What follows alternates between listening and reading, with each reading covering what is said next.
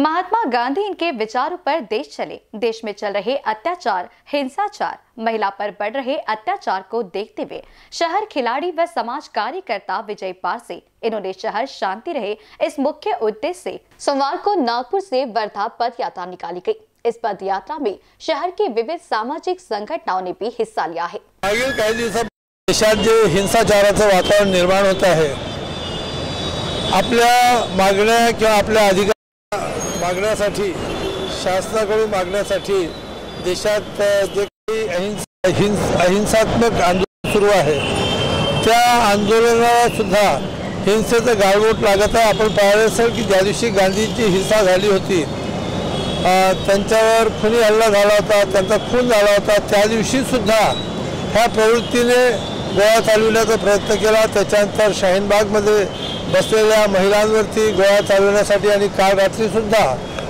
गोळीबार झालेला आहे. याच्यावरून असं दिसतंय की देशात हिंसाचार विरुद्ध अहिंसा हा एक लढा सुरू होणार.